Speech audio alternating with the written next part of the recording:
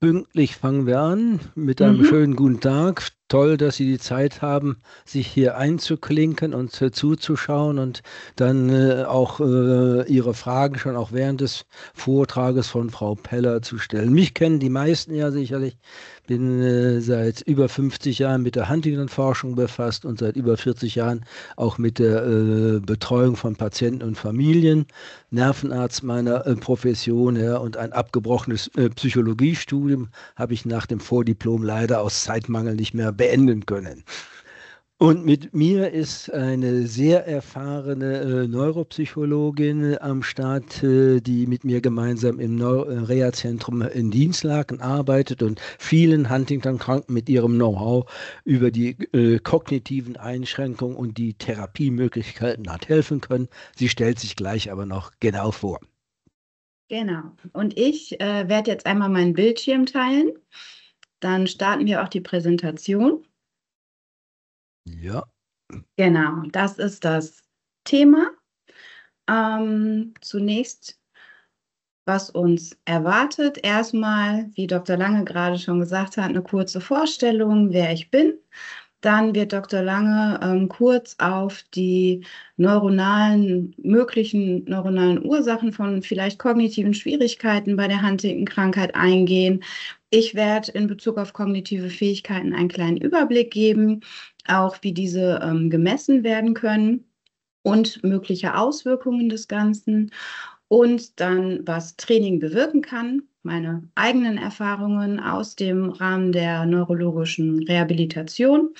Und zum Schluss Trainingsmöglichkeiten, was man auch selbst tun kann, um seine kognitiven Fähigkeiten zu stabilisieren, vielleicht auch sogar auszubauen und zu stärken. Grundsätzlich zu meiner Person. Mein Name ist Rebecca Peller. Ich bin 38 Jahre alt. Ich habe einen Abschluss als Diplompsychologin und seit 2019 arbeite ich in der Diagnostik und Therapie sowie in der psychologischen Beratung in einer ambulanten neurologischen Reha. gerne schon mal die nächste Folie zeigen. Mhm. Genau. Da übergebe ich jetzt an Herrn Dr. Lange, wo es um mögliche Ursachen kognitiver Schwierigkeiten bei der Huntington-Krankheit geht. Ja.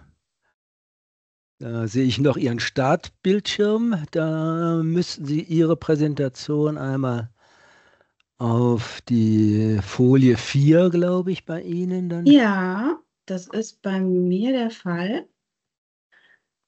Mm. Ich beende das nochmal Ja. und werde das jetzt nochmal teilen.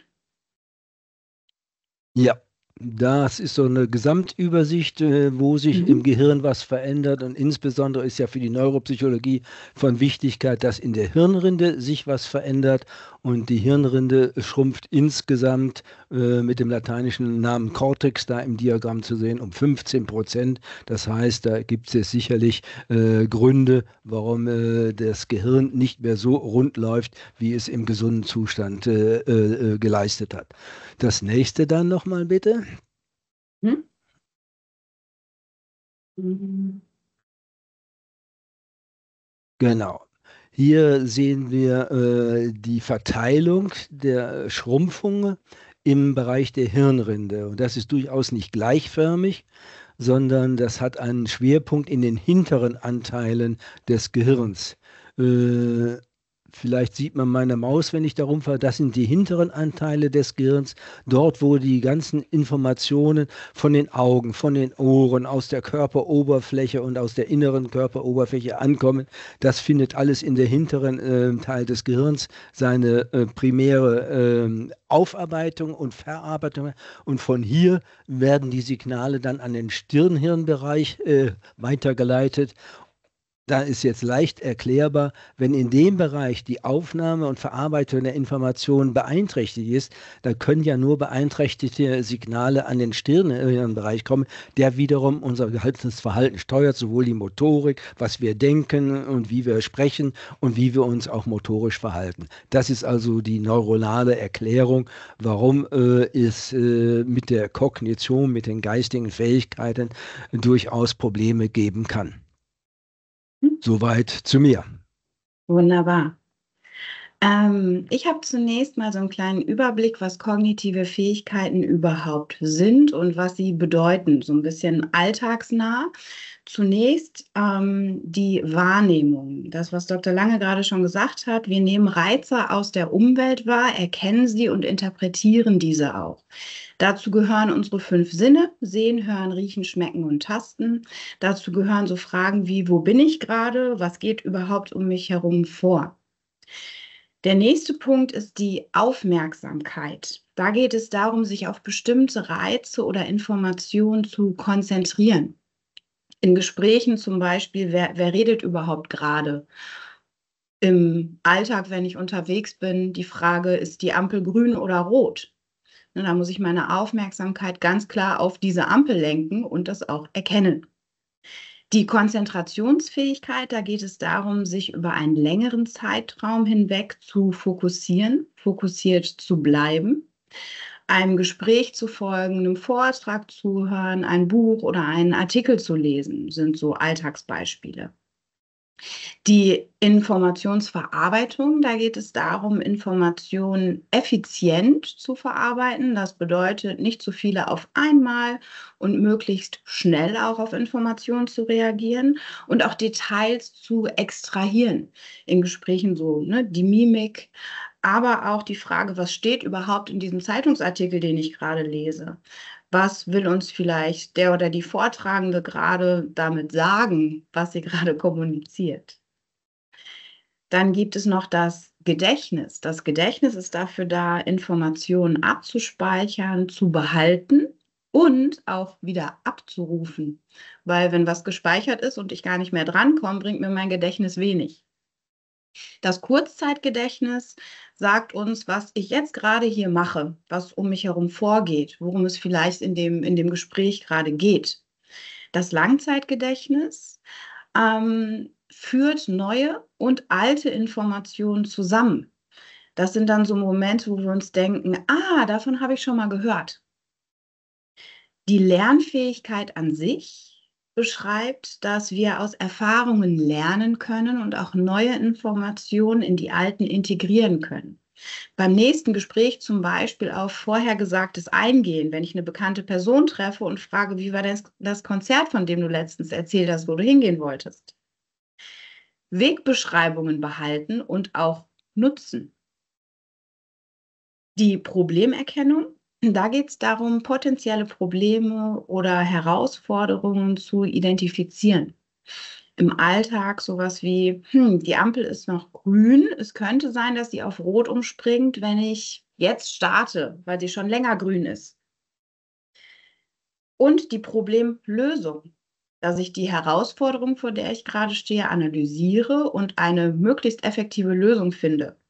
Wie zum Beispiel, hm, okay, die Ampel könnte auf Rot umspringen, der Bus kommt aber laut Plan erst in vier Minuten, also habe ich noch Zeit, die nächste Grünphase abzuwarten. Das logische Denken, da geht es um logisches Schlussfolgern, um rationale Entscheidungen. Das Bild hängt vielleicht schief an der Wand.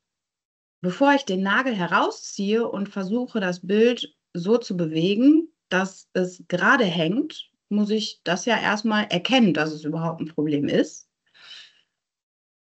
Und ein zweites Problem oder ein zweites Beispiel dafür ist, ich stelle die Gerichte, die kühl gelagert werden sollen, erst kurz bevor der Besuch eintrifft aus dem Kühlschrank und nicht schon morgens um acht, wenn ich gerade das erste Mal den Kühlschrank öffne.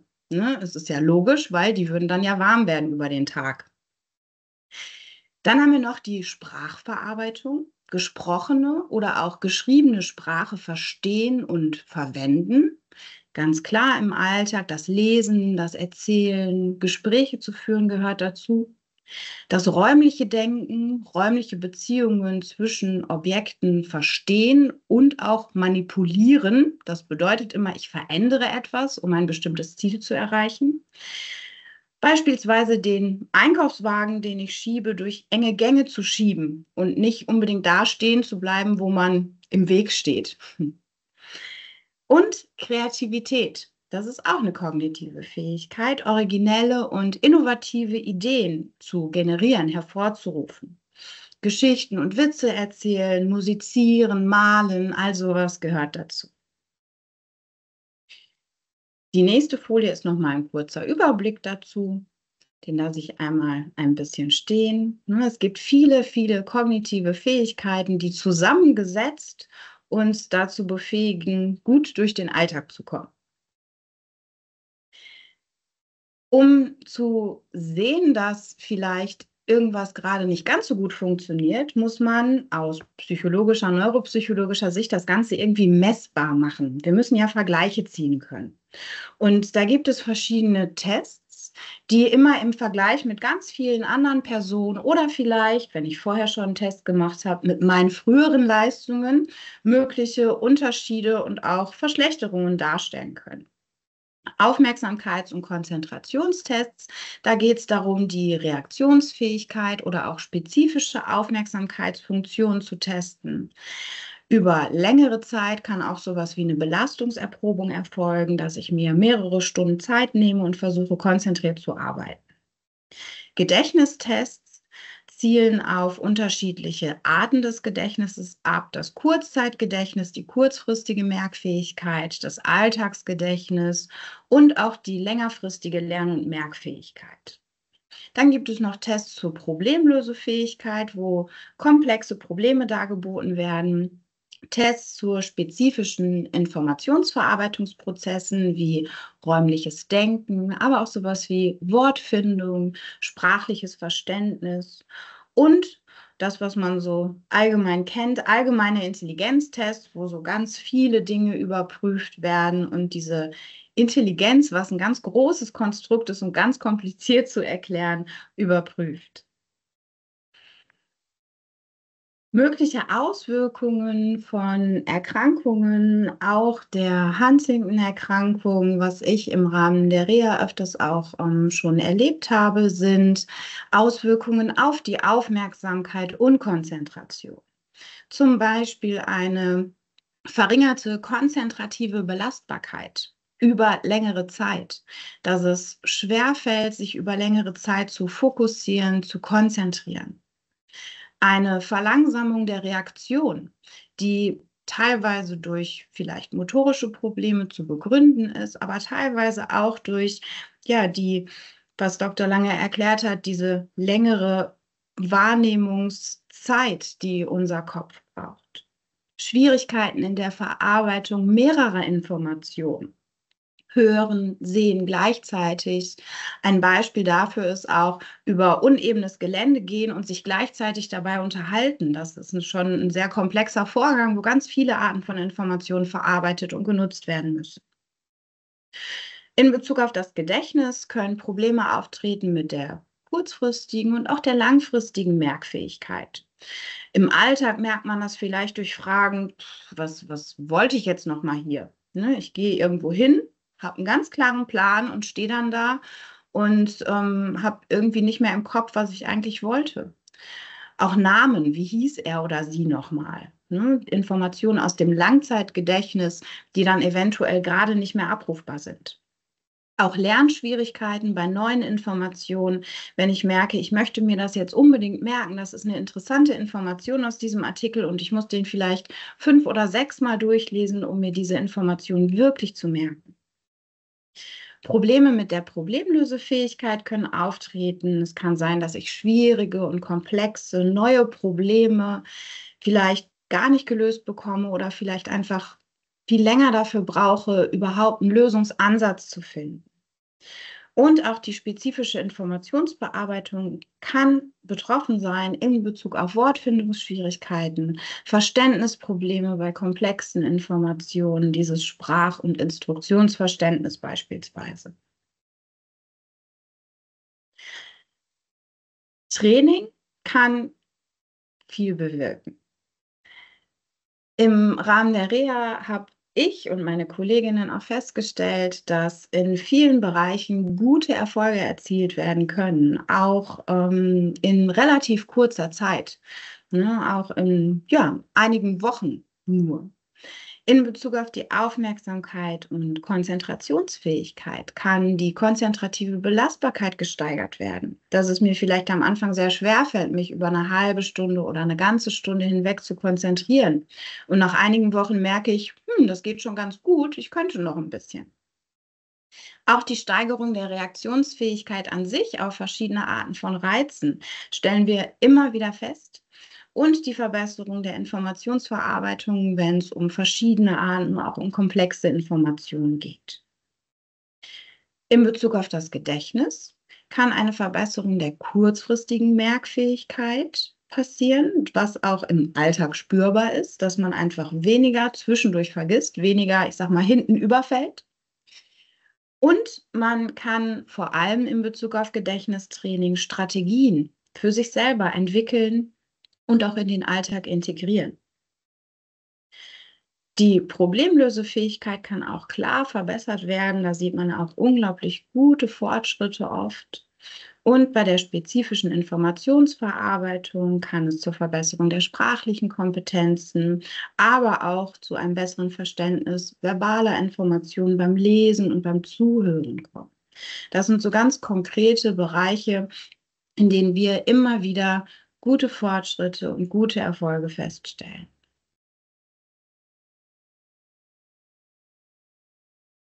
Im Rahmen einer Rehabilitationsmaßnahme ähm, bieten wir Einzeltraining, aber oft auch Gruppentraining an. Entweder ist es PC gestützt auf dem Papier oder auch in Interaktion miteinander möglichst tägliches Training versuchen wir dadurch, dass wir immer relativ wenig Zeit haben, im Rahmen der Reha einzubinden. Wir versuchen eine engmaschige Betreuung zu ermöglichen, teilweise auch im Eigentraining, dass man selber dafür zuständig ist, aber in regelmäßigen Absprachen mit meinen Kolleginnen und mir. Wir verwenden verschiedene Programme. Beispiele sind Reacom, Cockpack ist auch so ein Programm und verschiedene Therapiemanuale. Ähm, die sind ja für so Gesundheitszentren, Reha-Maßnahmen ganz gut geeignet. Ich möchte Ihnen aber insbesondere heute einige Möglichkeiten des Trainings vorstellen, die nicht wie diese Programme ähm, Geld kosten und sehr aufwendig sind, sondern ich werde Ihnen jetzt verschiedene Apps, Internetseiten, Spiele und Möglichkeiten auch im Alltag das Kognitive zu trainieren vorstellen, die nicht viel Aufwand bedeuten, was ich immer ganz wichtig finde und auch möglichst keine Kosten verursachen. Zum, äh, als Hinweis noch, alles, was ich hier vorstelle, alle Bilder, die ich zeige aus diesen verschiedenen Apps, da habe ich mich mit den Entwicklern bzw. mit den Anbietern abgesprochen, dass ich die alle präsentieren und empfehlen darf. Die erste Trainingsmöglichkeit ist eine Internetseite und auch App, die heißt MS Kognition. Das ist ein Projekt, was von der Deutschen Multiple Sklerose Gesellschaft ähm, ins Leben gerufen wurde, in Zusammenarbeit mit verschiedenen Kostenträgern unter wissenschaftlicher Begleitung. Die beinhaltet Informationen zur MS-Erkrankung, aber die Übungen sind so aufgebaut, dass sie grundsätzlich die kognitiven Fähigkeiten steigern und fördern und dementsprechend auch ähm, ja, genutzt werden können, wenn man nicht von dieser Erkrankung betroffen ist. Die Aufmerksamkeit, das Gedächtnis und exekutive Funktionen werden hier angesprochen.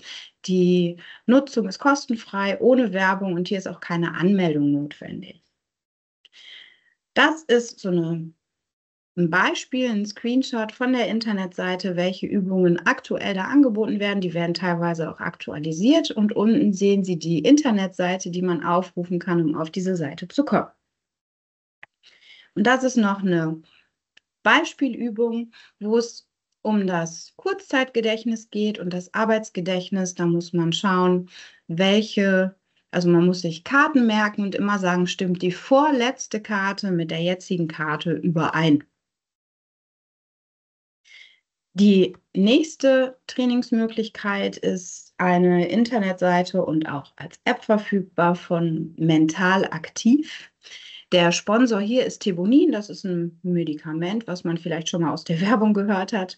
Ähm, hier gibt es Informationen zu kognitiven Fähigkeiten. Man kann hier sogenannte Leistungstests durchführen, sich auch mal vergleichen, was ich auch immer ganz spannend finde. Es gibt Übungen zur Logik, zur Konzentration, zum Gedächtnis, auch für sprachliche Fähigkeiten. Und wenn man einen Drucker zur Verfügung hat, kann man sich auch so Übungshefte downloaden. Das ist auch alles kostenfrei und ohne Werbung. Die Werbung haben wir ja schon beim Sponsor selbst. Aber hier ist eine Anmeldung per E-Mail empfehlenswert. Das ähm, ja, habe ich gemacht, meine Kolleginnen auch, wurden bisher nur willkommen geheißen und haben sonst nichts von denen gehört. Ähm, das empfehle ich, weil man dann alle, alle Übungen und alle Levels auch freigeschaltet hat. Das ist die Internetseite da sehen Sie den Link und ein Beispiel-Screenshot. Wenn man auf die Seite kommt, wird man begrüßt. Und das ist so eine Beispielübung, wo es auch um das Kurzzeitgedächtnis geht. Da sieht man verschiedene Muster, für die man einige Zeit hat, sich die einzuprägen. Und hinterher soll man dann sagen, wo war gerade welches Bild. Ne, eine ganz nette, kurzfristige Übung. Die Übungen sind auch immer alle sehr kurzweilig angelegt, gehen immer nur so ein paar Minuten. Die letzte Möglichkeit als App ist ähm, eine Möglichkeit, die, ich sag mal, relativ neu ist. Neuronation oder Neuronation ist ein Unternehmen, was es schon länger gibt. Die haben jetzt eine App auf den Markt gebracht, auch unter wissenschaftlicher Begleitung, die ähm, budgetneutral durch Ärzte zu verschreiben ist. Das bedeutet, die ist auch für den oder die Patientin kostenfrei. Hier gibt es Leistungstests, Übungen zu schlussfolgendem Denken, zur Geschwindigkeit, das ist grundsätzlich die Aufmerksamkeit und das Gedächtnis. Ganz individuelles Training wird hier zusammengestellt, je nach Problemen, die sich zeigen. Es gibt zu jeder Übung Informationen zur Alltagsrelevanz, wofür brauche ich das überhaupt? Es gibt so eine Funktion wie den sogenannten Neurobooster, wo man dann teilweise so Achtsamkeits- oder Atemübungen präsentiert bekommt. Das kann man alles individuell einstellen. Wie schon erwähnt, die App ist budgetneutral zu verschreiben bei einer bestimmten Diagnose, und zwar bei der Diagnose F06.7. Das ist aus diesem ICD-Code, die International Classification of Disease, die Ärzte nutzen, um Krankheiten zu verschlüsseln. Und diese Diagnose steht für die sogenannte leichte kognitive Störung. Das ist eine kognitive Störung, die nicht unbedingt alltagsrelevant sein muss. Das bedeutet, Personen, die darunter leiden, können ihren Alltag ganz gut bewältigen. Es zeigt sich aber unter anderem, wie ich gerade schon vorgestellt habe, in Tests, dass da vielleicht kleine Probleme vorhanden sind. Die App ist TÜV-zertifiziert vom Bundesinstitut äh, für Arzneimittel und Medizinprodukte geprüft und zugelassen. Steht so auf der Internetseite, habe ich auch so in meinen Fortbildungen vom Unternehmen selber mitbekommen.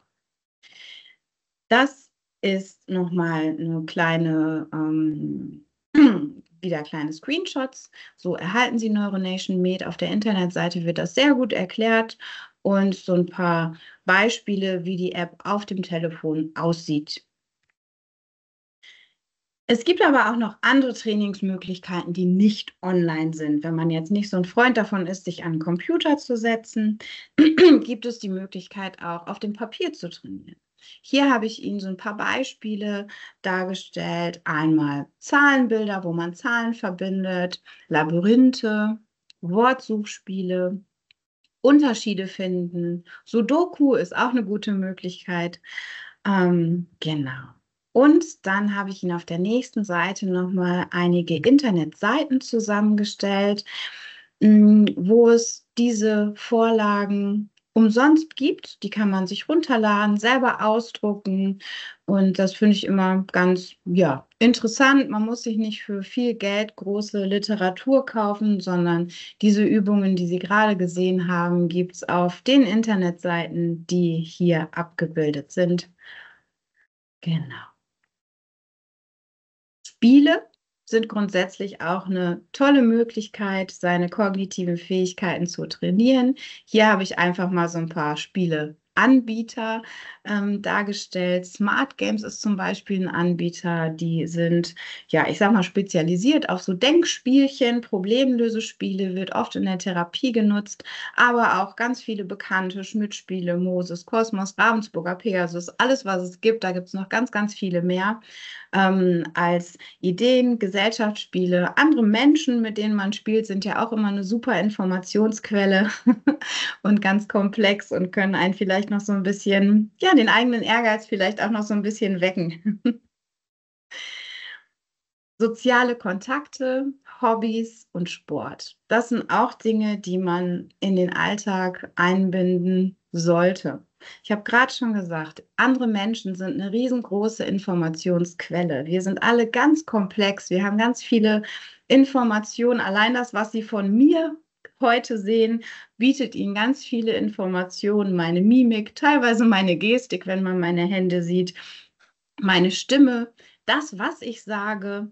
Hm, der Hintergrund ist jetzt nicht so aussagekräftig, aber alles, was so andere Menschen für uns bieten, ist schon eine ganz, ganz tolle Möglichkeit, unsere Informationsverarbeitung zu schulen. Deswegen sind soziale Kontakte, Gespräche mit anderen immer gut und wichtig. Hobbys können ganz unterschiedlich sein. Hobbys können kreativ sein, Hobbys können sein, dass ich ne, für mich selber Informationen erarbeite, lese. Sport kann natürlich auch ein Hobby sein. Sport wirkt sich auch immer positiv aus auf den Körper, aber auch auf den Kopf. Das hängt ja einfach beides zusammen und beides unterstützt sich gegenseitig. Deswegen ist es meiner Meinung nach wichtig, einfach aktiv zu sein, aktiv zu bleiben oder wieder aktiv zu werden, um auch die kognitiven Fähigkeiten ja, aufrecht zu halten und vielleicht sogar zu steigern, wenn ich Probleme damit bemerke. So, jetzt kommt der Fragenteil. Ich werde jetzt einmal das ähm, Teilen beenden. Dann sehe ich gegebenenfalls auch Fragen, die vielleicht im Chat gestellt wurden. Nicht erschrecken, die Präsentation wird jetzt beendet. So.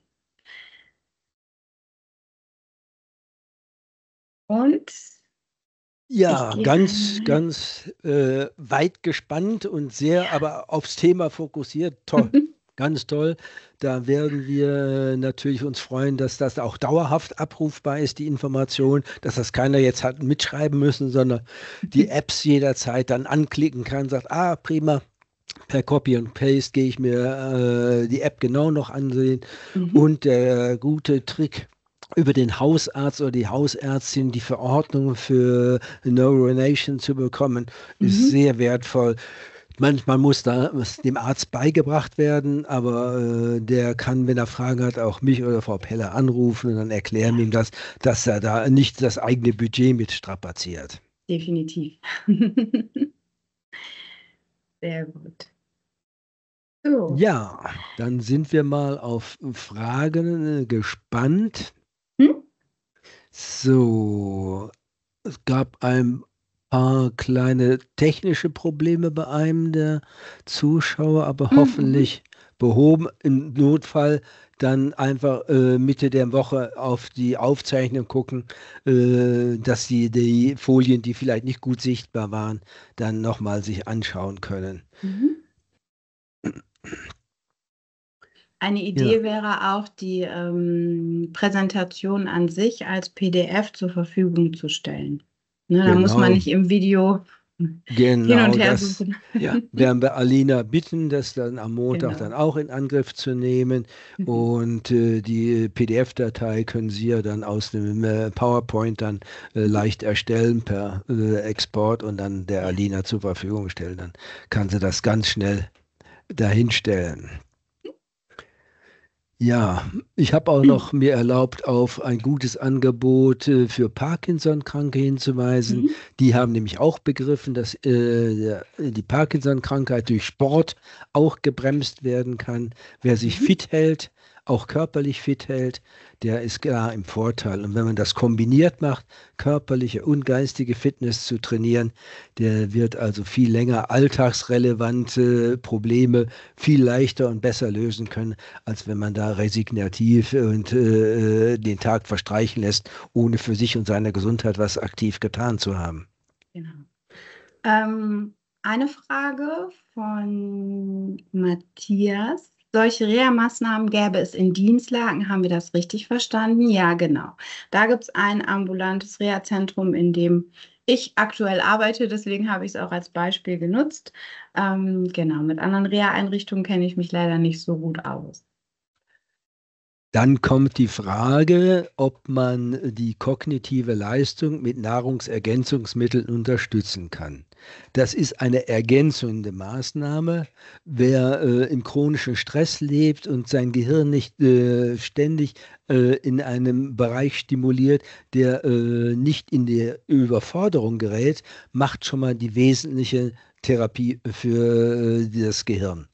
Wenn man dazu noch äh, äh, Naturstoffe nimmt, die das Gehirn braucht, um sich jede Nacht zu reparieren, kann man hoffen, dass dann dieser äh, Trainingseffekt, den man über Tag entwickelt hat, durch die nächtlichen Reparaturarbeiten am Gehirn, unterstützt durch Naturstoffe, noch effektiver funktionieren. Aber nur Naturstoffe zu nehmen und nichts für seinen Kopf aktiv zu tun, das ist rausgeworfenes Geld. Also die Basis ist das aktive Tun für Geist und Körper und dann kann man sagen, okay, ich weiß, wie äh, dringend die äh, Reparaturen am Gehirn sind, auch im Normalzustand. Jede Nacht muss das Gehirn im Tiefschlaf repariert werden, weil das eine Maschine ist, die rund um die Uhr läuft. Da müssen immer Reparaturen stattfinden. Und das kann man unterstützen, indem die Naturstoffe, da gibt es auch eine Datenbasis dazu, das sind äh, Naturstoffe, die in Einzeltestverfahren schon als hilfreich geprüft wurden. Nur ein einzelnes äh, Vitamin E oder Vitamin C alleine wird gar nichts nützen. Man wird sicherlich eine komplexe äh, naturstoffbasierte Therapie brauchen, um den vielfältigen Wirkungen des Gehirns äh, und der Huntington-Mutation gerecht zu werden, um die möglichst äh, klein zu halten in den Auswirkungen.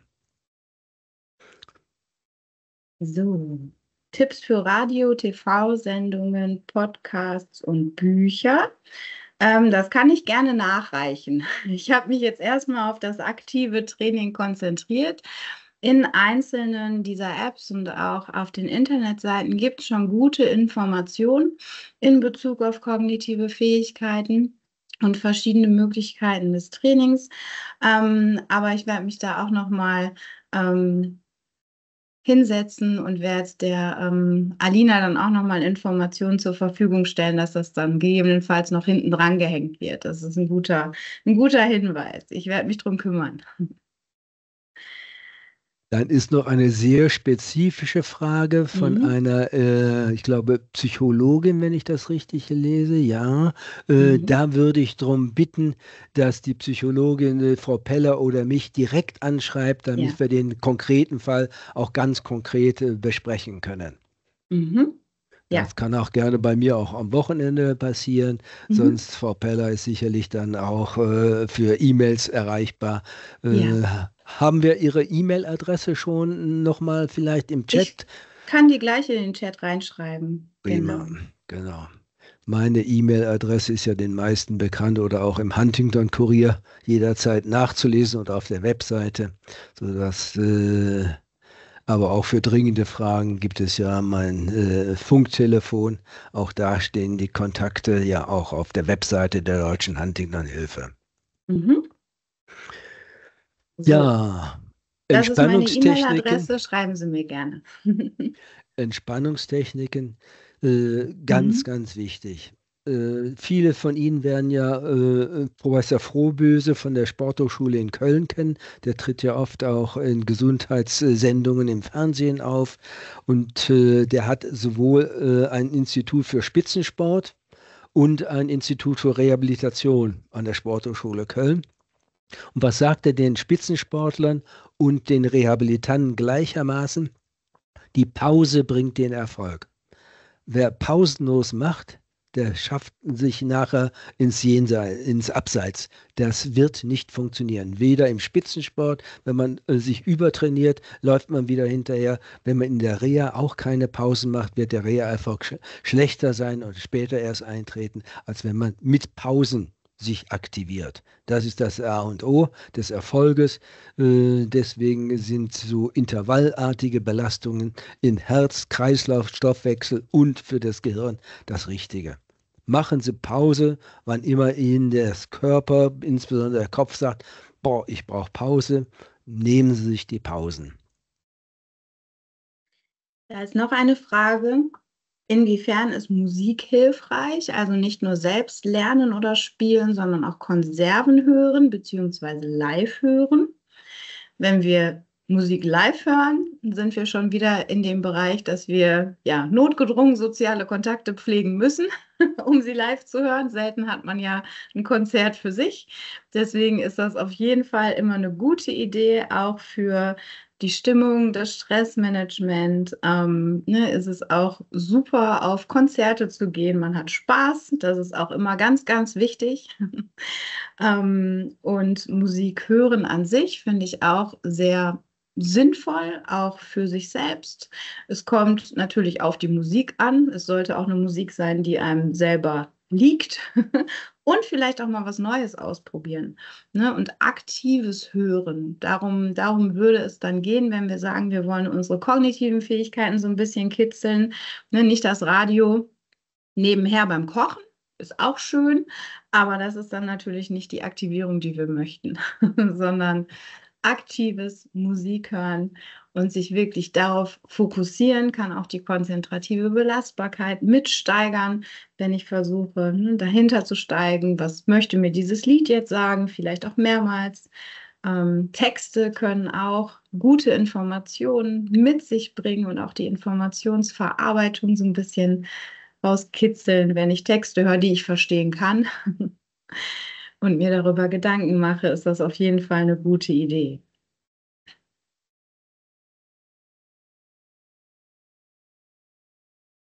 Und natürlich auch als Ausgleich zum Entspannen, zum Runterkommen. ja, und natürlich ist Musizieren äh, toll.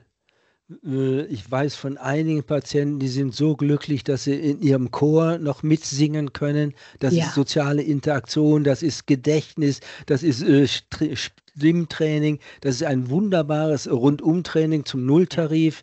Also äh, wer da äh, früher im Chor war, sollte gucken, ob er da wieder anknüpfen kann oder ob er einfach dann sich vermehrt ähm, äh, im Rahmen von Gottesdiensten äh, am Gesang beteiligt. Das sind alles wunderbare Dinge, äh, die ihrem Kopf kolossal helfen. Das stimmt. Mhm. Und es macht Spaß. Ja, genau. also das Faible, für welche Musik man dann schwärmt, das darf ganz individuell, bei dem einen sind Uhl ist, dem anderen sind Nachtigall, das darf also komplett normal. Und Zweifelsfall setzt man sich einen Kopfhörer auf, wenn der Partner da von der Musik gerade nichts hat, dann kann man das ja auch per Kopfhörer hören, ohne den anderen zu stören. Genau. wenn man dabei den Rhythmus mitklopft, ist auch was geworden.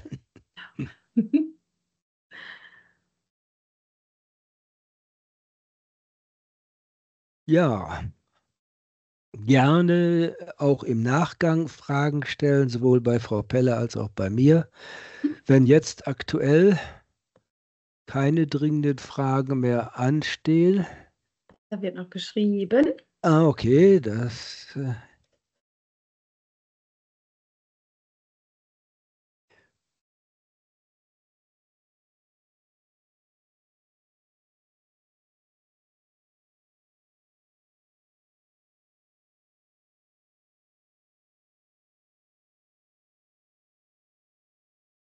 Ja, Reisen. Wunderbare Anregung äh, für äh, den Geist, die Kognition, die Orientierung. Toll. Äh, man kann ja auch in fremden Städten mit Navigations-Apps äh, immer sicherstellen, mhm. dass man sich nicht verläuft. Äh, ich benutze die seit Jahr und Tag schon äh, ständig, um mich da in neuer Umgebung möglichst zielgenau an das Wunschziel heranzubringen. Das kann man mit Re Reise-Apps sich äh, so gestalten, dass man auch die Highlights äh, von einer Stadtrundgang äh, oder so dann äh, bekommt. Also das ist eine gute Sache. Reisen bildet immer schon und das sollte man nutzen solange ähm, die Lust dazu hat. Und sicherlich auch dabei das Programm nicht überfrachten. Alles mhm. in Ruhe und mit Pause. Immer wieder mal ein schönes Café ansteuern und äh, im Moment körperlich und geistig ausruhen. Dann macht so eine Reise äh, sicherlich sehr viel Sinn. Und dann natürlich, bitteschön, den Reisebericht uns schreiben, damit das im Huntington-Kurier als äh, Anregung aufgenommen wird. Die wahren Lehrmeister, wer es wirklich weiß, was Huntington ist, sind die Naturexperten, sprich die Betroffenen und ihre Familienangehörigen. Die äh, erklären uns professionellen Experten, was Huntington wirklich ist und wie man helfen kann. Ähm, noch zu den Orten. Ich glaube, da gibt es keine Unterschiede zu Orten. Natürlich ist, wenn ich am Strand liege, auch in einer unbekannten Umgebung Strand, wahrscheinlich ähnlich Strand. ähm, aber wenn ich was Neues erlebe, ist das immer gut. Und es ist immer eine ja, Anforderungen an unser Gehirn, neue Erfahrungen zu machen, mit alten zu verbinden, mit alten zu verknüpfen, zu integrieren. Und ja. den Hinweis ähm, von, ich nehme mal den Vornamen Regina, den finde ich super. Bei Erkrankten gehen auch gut Kreuzfahrten, da wird sich um alles gekümmert. Man wechselt nicht die Umgebung zur Übernachtung, sieht verschiedene Orte und die Erkrankten. Und für die Erkrankten gibt es genug zu essen. Ähm, das ist, glaube ich, wirklich ja, eine Möglichkeit, wenn man sich das finanziell leisten kann. Das ist ja auch immer so ein Kostenfaktor, ja. die ja, hm, sich sehr gut anhört. Ganz wichtig auch bei Menschen mit äh, schon körperlicher Einschränkungen. Die Fluggesellschaften reißen sich ein Bein aus, um zum Beispiel auch Rollstuhlfahrer äh, an ihren Zielflughafen zu bringen. Die kriegen einen erstklassigen Service. Also äh, das äh, habe ich äh, auch persönlich miterlebt mit meiner über 90-jährigen äh, Schwiegermutter, die immer noch mit uns auf die Kanaren geflogen ist. Und da haben wir als Angehörige natürlich wir wurden da nicht abgekoppelt, sondern wir durften dann diesen erstklassigen Service mit in Anspruch nehmen. Also das war äh, richtig gut. Und es gibt spezielle Hotels, die sich auf äh, Reisende für, für Reisende mit Behinderung eingestellt haben. Da mache ich Ihnen auch Mut, sich da zu informieren. Und solche Urlaube sind ein Gewinn für den Kopf sowohl für den Betroffenen als auch für den Partner. Da könnte, kann die Seele mal baumeln, da fühlt man sich richtig wohl. Ich war mit meiner Frau mal auf Teneriffa in einem Hotel, was äh, speziell für äh, Menschen mit Behinderung gebaut wurde von einem Hotelier, der eine MS-kranke Frau hatte. Und das war ein Wohlfühlurlaub der Sonderklasse. Nur strahlende Gesichter. Das Hotel hat natürlich auch Physiotherapie, Ergotherapie. Äh, jeder Mensch konnte da, egal ob behindert oder nicht, auch ins, äh, in den, äh, ins Schwimmbad kommen. Assistenz dabei, das war äh, an allem da und das war wirklich äh, für uns äh, ein ganz, ganz entspannter und äh, toller Urlaub, den ich auf mein Lebtag nicht vergessen werde. Also wer sowas erreichen kann, das gibt solche vergleichbaren Hotels sicherlich auch in Deutschland oder in Europa, sodass man da auch ohne Flugreise hinbekommt. Das sind Dinge, die den Kopf kolossal unterstützen, die Seele unterstützen. Und je wohler man sich fühlt, umso besser arbeitet das, das Gehirn. Stimmt.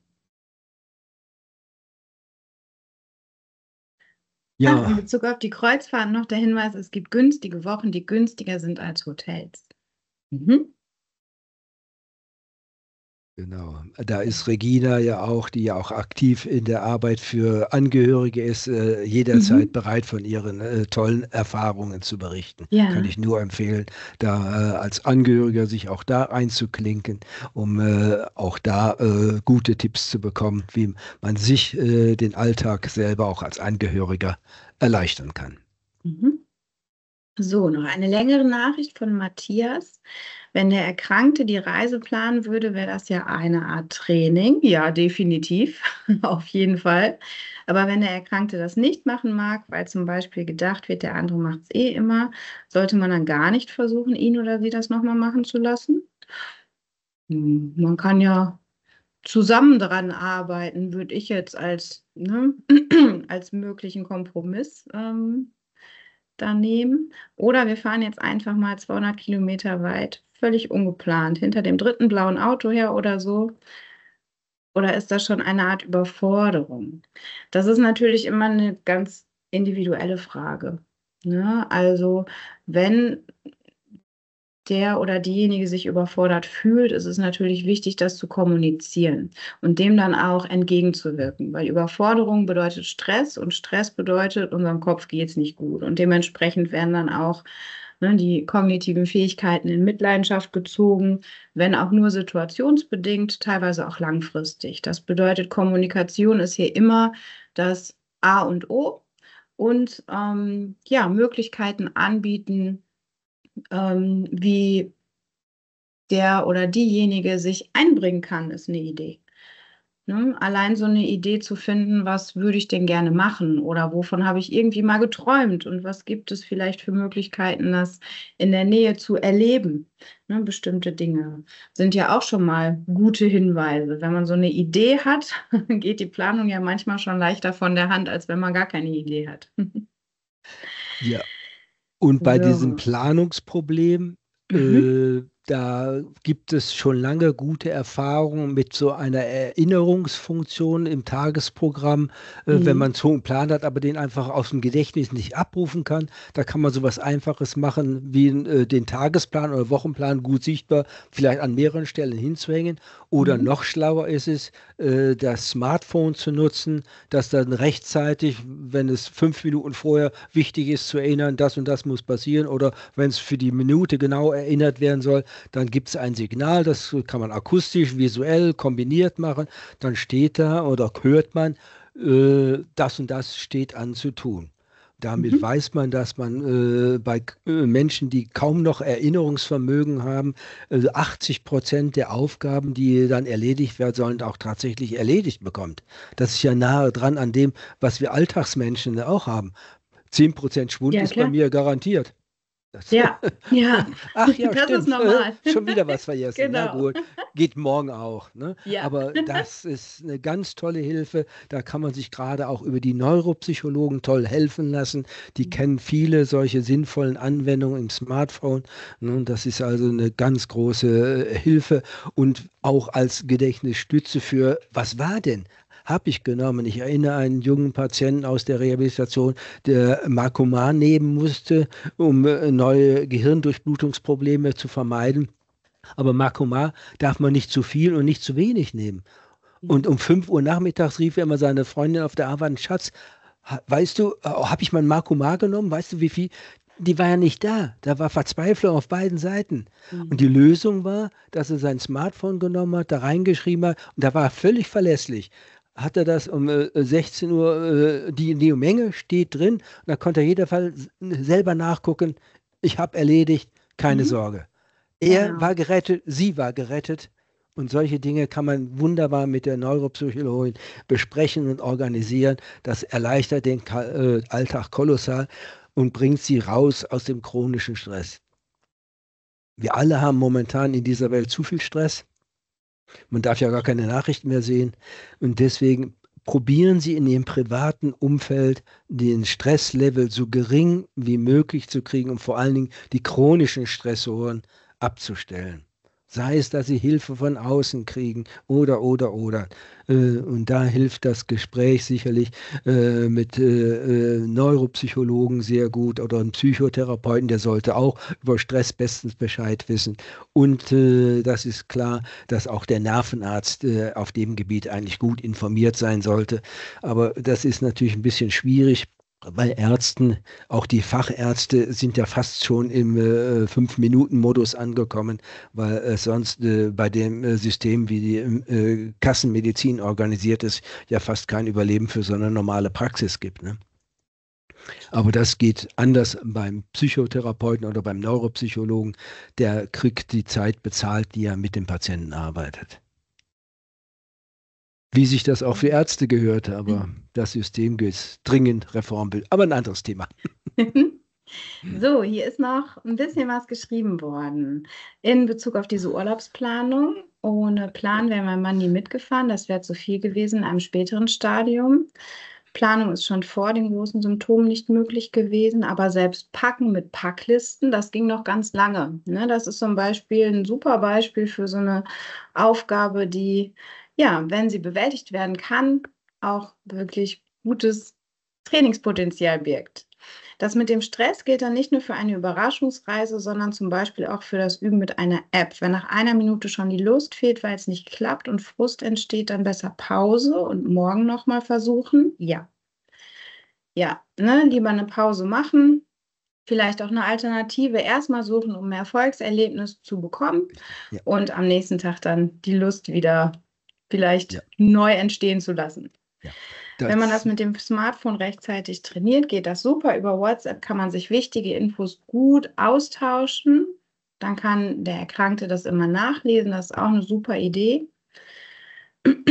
Wenn Stress so sehr schädlich ist, dann müssen wir die Schalke-Dauerkarten wohl abgeben. das ist auch ein chronischer Stress, von dem ich auch eine Zeit lang betroffen war. Aber ja, gut, dann haben wir schon einen Handel. Wir nehmen sie. Super. Sehr schön. Ja, also das ist wichtig, dass sie sich über Stressoren im Bilde sind äh, mhm. und gucken, was kann äh, die chronischen Stressoren äh, reduzieren, hilft meist schon, oder mhm. noch besser eliminieren. Das ist ja. schon klar. Ne? Das, das, ist ganz wichtig. Mhm. Ja, bei diesen Apps, da mhm. soll kein, bloß kein Frust aufkommen, bloß nicht. Das soll nicht neuen Stress machen, das soll Spaß machen. Und die genau. guten Apps sind auch so konstruiert, dass der Mensch zwei Drittel Erfolg hat. Mhm. Nur Erfolg ist langweilig. Das, das, ja. Äh, das, fordert mich auch nicht. Aber wenn du äh, drei Viertel äh, Niete ziehst und sagst auch schon wieder nichts, das macht auch wieder Frust. Nein, eine gute App, das weiß man von der Lernpsychologie und Lerntheorie, da muss mindestens zwei Drittel Erfolg garantiert sein, sonst ist sie falsch konstruiert. Dann kann man ja. sie vergessen, muss man dem Entwickler sagen, du musst normal die Schulbank drücken und äh, das nachbessern. Bei der ähm, Neuronation Med App, da habe ich auch mit den Entwicklern gesprochen. Da sieht es so aus, dass man zunächst einen Test macht, dann auf einem bestimmten Level einsteigt und ähm, die haben auch ganz klar gesagt, die arbeiten nur mit positiver Verstärkung. Ne, auch wenn man vielleicht ein paar Tage das nicht trainiert hat, hört man noch nicht mal sowas wie, wir vermissen sie, was ja schon negativ wäre, sondern haben sie vielleicht heute Lust. Ne? Also das ist wirklich, ähm, fand ich vom Konzept her unglaublich schön gemacht, sinnvoll gemacht. Und da ist es auch so wie bei den anderen Apps, da steigt man immer mit dem einfachsten Level ein natürlich.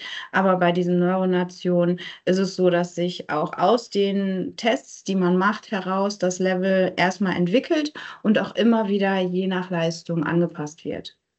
Und das sollte bei guten Apps auch so sein, dass es auch vielleicht einen Schritt zurückgeht, um wieder ein Erfolgserlebnis zu ermöglichen. Und wenn ich dann alles richtig mache, ähm, nicht unterfordert bin, sondern das Level dann gesteigert wird.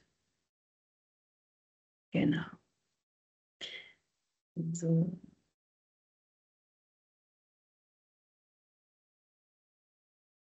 Im Chat noch die Info für das nächste Online-Treffen für Angehörige am Freitag, 5.7.19 Uhr mit der E-Mail-Adresse, wo man sich anmelden kann.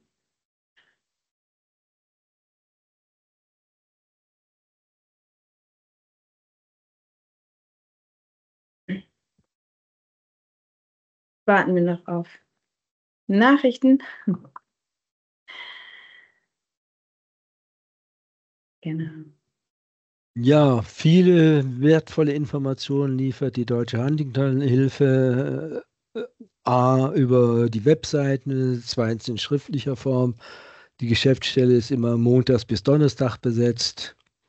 Und äh, im Falle von äh, seelischer Krise gibt es auch eine äh, sehr äh, handige und erfahrene Psychologin, die da mit Rat und Zeit äh, da zur Seite steht und äh, dann bei medizinischen Krisen, dringenden Fragen ist ja mein Funktelefon jederzeit greifbar. Nur im Tiefschlaf höre ich nicht, aber in der Regel kommen die Anrufe zu einer vernünftigen Tageszeit bei mir an.